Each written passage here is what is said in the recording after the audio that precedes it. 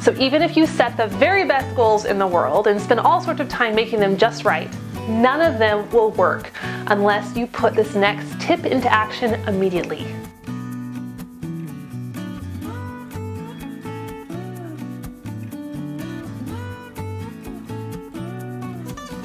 For advice and encouragement on starting or growing your homestead, subscribe to our channel and hit the bell to be notified when we post a new video every Tuesday.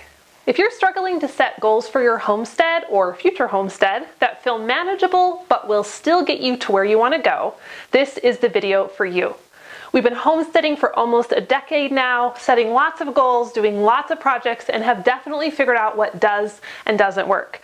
These are my best tips and practices that I use every single year to make sure our homestead goals turn into reality. In this video, I'm going to share my top five best tips for making sure your goals are something you actually achieve so you get the results you want on your homestead or elsewhere in your life.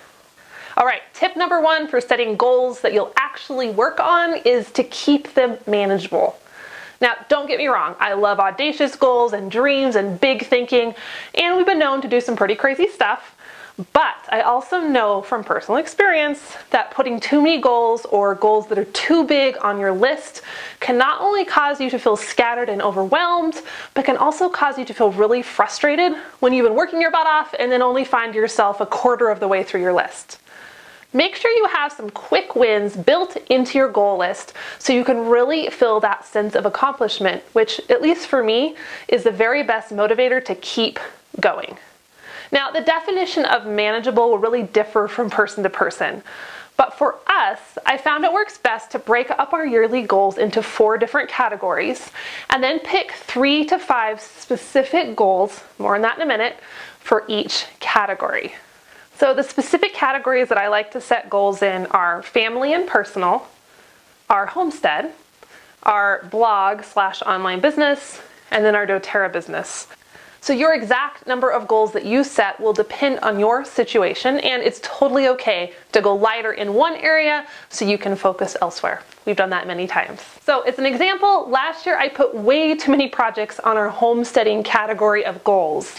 And then come June when we were knee deep in the middle of a huge yard remodel and it was kicking our butt, and I realized it was going to take the majority of our summer and the other things weren't going to happen, I was really, really frustrated. So to remedy that from happening this year, I'm writing down a much more realistic list that I will be plugging into the calendar ahead of time so I know exactly how many months or weeks or whatever I have partitioned off for each homestead project.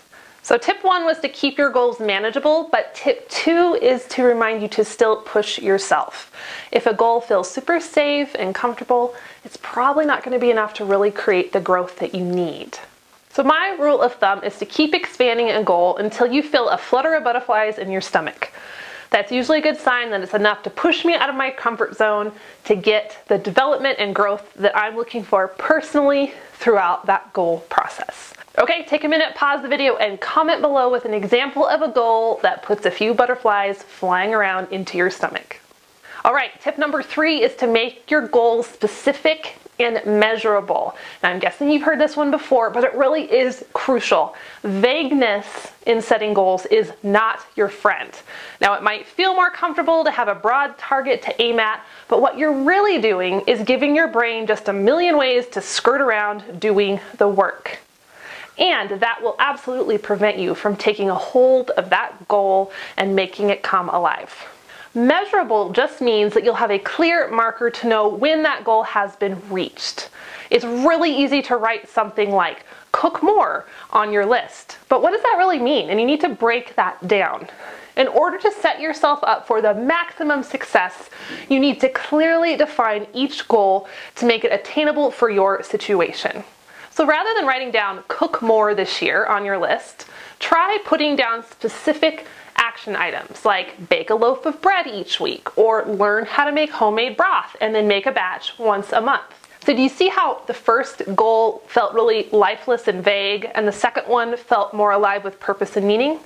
That's exactly the same sort of feel that you'll want to create in your own homestead goals for this year. All right, tip number four for successful homestead goal setting is to write those goals down and give them a date. And then the scary part, tell someone. I know, I know, every time I say this, someone argues with me and says, I don't like writing goals down. That's not how my brain works. I like to go on spur of the moment. Um, it feels too scary. I get it, I get it, I get it. But I'm gonna say that if you're really serious about making your goals a reality, you've gotta get serious enough to write them down and give them a due date. There is something just magical about putting something on paper. I don't know what it is, but it works. And yes, it is crucial to assign a date to your goal.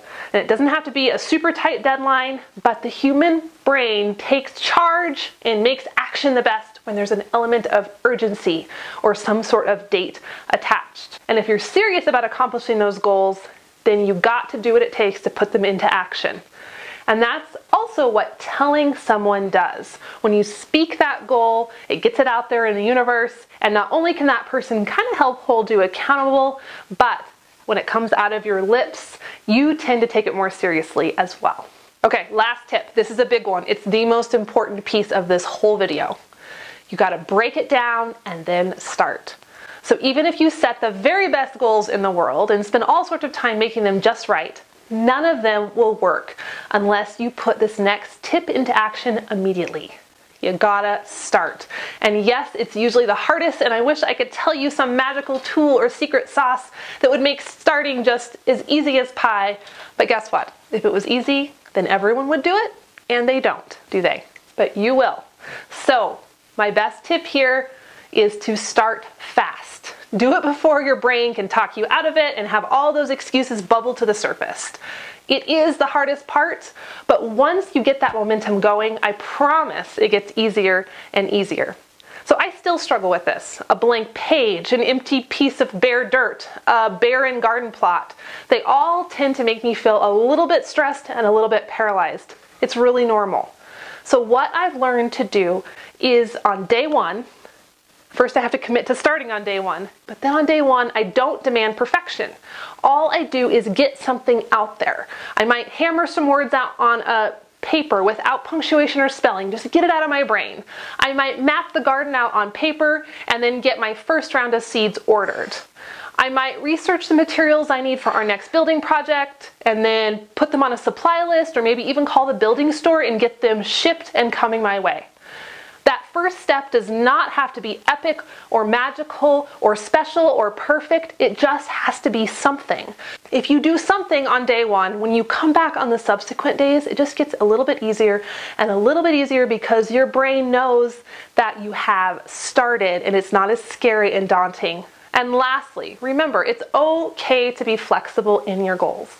Sometimes plans shift and change and you gotta give yourself some grace. There's been many years where our epic list of projects just didn't happen the way I wanted to, and I had to be okay with it.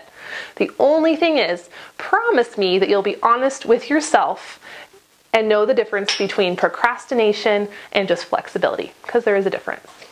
So I promised I'd tell you a few of our homestead goals for the year. First off, we're gonna be redoing our pens and corrals. So our theme for this year is really refinement. We've done a lot of construction, a lot of building, a lot of creating, and some of those systems worked really good when we first put them in like eight or 10 years ago, but they've kind of stopped being efficient and productive. And so we're going back into some of those places that we built a while back and making them better.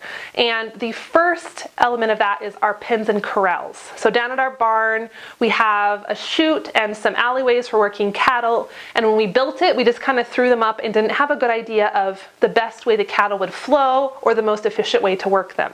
So we're gonna be redoing those so they're safer, more efficient, and it won't be such a pain in the butt every time we need to do something with a cow. We're also going to be putting in a milking parlor because as you've probably seen in my other videos or photos, I have milked out in the open barn on a cement pad for a long time and it worked and it was great and it was really smart because it forced me to start milking instead of putting it off. But I'm kind of ready to take it a little more seriously and I'm really tired of every time I go down to get the cow, I'm dealing with mud or a big sloppy pile of manure or the horses chasing a cow around. It's just not working anymore. So I'm ready for a designated milking area that I can keep more sanitary and organized and I know I can use it the same way every day and it won't be dependent on animals or weather or whatever. So we have a few other areas of the homestead that we're working on improving and refining this year. But like I mentioned in tip one, we're actually keeping it fairly simple as compared to some years in the past because there's other areas of our life where we have some really big pushes. Namely, we are launching our first cookbook. Now, I've never shown this on video or camera before. I'm gonna give you a sneak peek. Here it is. Now, this is the paperback version. The actual book will be hardcover. I cannot wait to show you more. The time is almost here. I'm gonna give you lots of sneak peeks. But we have a lot going on around this cookbook. So I know I need to keep my homestead projects a little bit more modest this year to accommodate for all the brain power and effort that will go into the cookbook launch. So now you know exactly how to line out your goals for success, but what about the nuts and bolts and information you need to actually get your garden or chicken coop or kitchen plans off the ground? So I have a very special library of homestead resources I created just for my loyal readers and subscribers, and I'm making it available for free to you. Just go to theprairiehomestead.com slash grow or click the link below to get access to the library instantly and then drop a comment below and let me know the homestead goal that you're most excited about for this year so I can cheer you on. Thanks for watching guys. We'll see you next week.